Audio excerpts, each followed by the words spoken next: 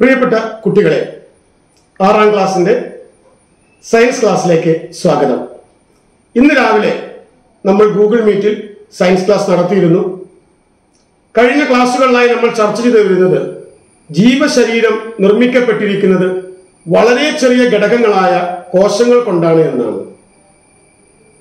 മനുഷ്യ ശരീരത്തിലെ വ്യത്യസ്തങ്ങളായ കോശങ്ങളെക്കുറിച്ച് നമ്മൾ കഴിഞ്ഞ ക്ലാസ്സിൽ പഠിച്ചു. ഏതൊക്കെയായിരുന്നു അവ? അതെ. രക്തകോശം കവിളിലെ കോശം നാഡീകോശം പേശികോശം എന്നീ നാല് വ്യത്യസ്ത തരത്തിലുള്ള കോശങ്ങളെ കുറിച്ച് നമ്മൾ കഴിഞ്ഞ ക്ലാസ്സിൽ മനസ്സിലാക്കി. ഓരോ കോശത്തിനും വ്യത്യസ്തമായ ധർമ്മങ്ങളാണ് ഉള്ളത്. ഇത്തരത്തിലുള്ള അനേകം കോശങ്ങൾ ഓരോ ജന്തു ശരീരത്തിലുമുണ്ട്.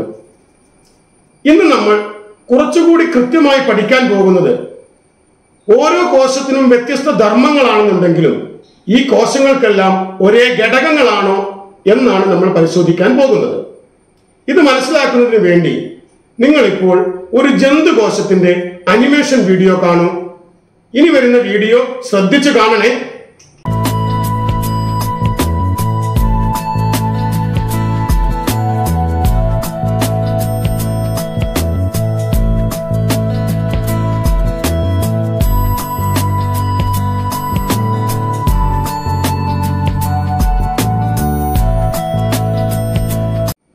എല്ലാവരും അനിമേഷൻ വീഡിയോ കണ്ടുവല്ലോ?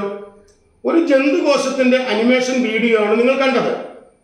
കുറച്ച് ആശയങ്ങൾ നിങ്ങൾക്ക് കിട്ടിയിട്ടുണ്ടാകും.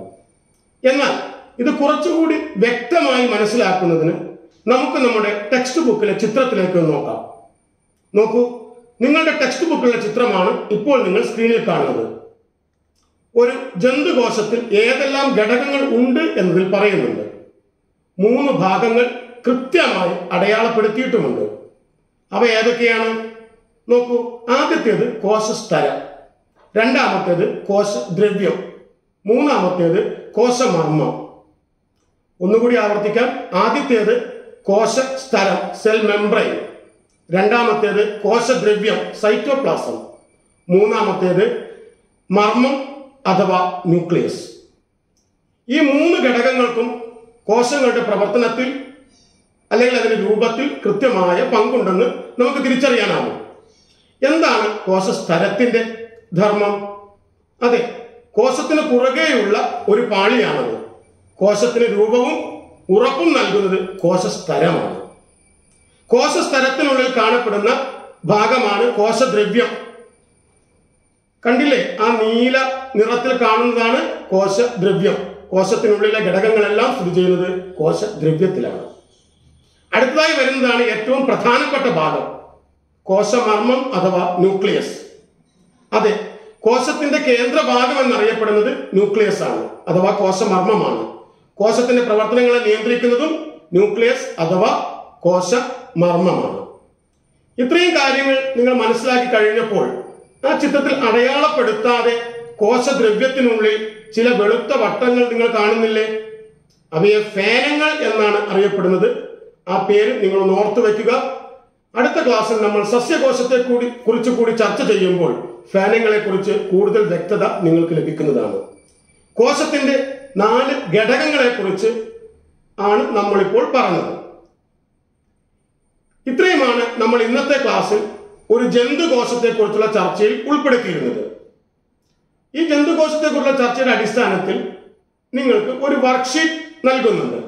ആ വർക്ക്ഷീറ്റിൽ കൃത്യമായി ഈ കോശത്തിന്റെ ചിത്രം നിങ്ങളുടെ നോട്ട് നോട്ട്ബുക്കിൽ വരയ്ക്കുന്നതിനും വരച്ചത് നിറം കൊടുക്കണം ഭാഗങ്ങൾ അടയാളപ്പെടുത്തണം. കൂടാതെ അതിനു താഴെ കോശത്തിന്റെ ഓരോ ഘടകങ്ങളുടെയും ധർമ്മങ്ങളും ചില ഘടകങ്ങളെയും കുറിച്ചുള്ള ചോദ്യങ്ങളുമുണ്ട്.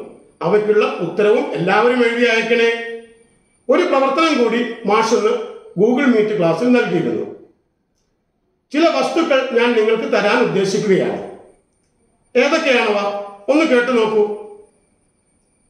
ഒരു ബലൂൺ ഒരു അൻപത് പൈസയുടെ കവർ പ്ലാസ്റ്റിക് കവർ അതുപോലെ നീല മഷി ഒരു കുപ്പി വെള്ളം കുറച്ച് മുത്തുകൾ. പല നിറത്തിലും പല വലിപ്പത്തിലുമുള്ള മുത്തുകൾ. ഇവ ഉപയോഗിച്ചുകൊണ്ട് ഒരു ജന്തുകോശത്തിന്റെ മാതൃക നിങ്ങൾക്ക് നിർമ്മിക്കാമോ? ഇവയെല്ലാം ഉപയോഗിക്കണമെന്നില്ല. നിങ്ങൾക്ക് ആവശ്യമുള്ളത് മാത്രം ഉപയോഗിച്ചാൽ മതി. നിങ്ങൾ ഇപ്പോൾ വീട്ടിലായതുകൊണ്ട് നിങ്ങൾക്ക് ഈ സാധനങ്ങൾ കിട്ടാൻ ബുദ്ധിമുട്ടായിരിക്കും. അപ്പൊ തൽക്കാലം നിങ്ങൾ അത് ഉണ്ടാക്കേണ്ട ആവശ്യമില്ല. പക്ഷെ അത് എങ്ങനെ നിർമ്മിക്കാം എന്നുള്ള നിർമ്മാണ രീതി നിങ്ങളൊരു കുറിപ്പായി തയ്യാറാക്കി ഇന്ന് വൈകിട്ട് ഏഴ് മണിക്ക് മുൻപ് എനിക്ക് പേഴ്സണലായി അയച്ചു തരണം.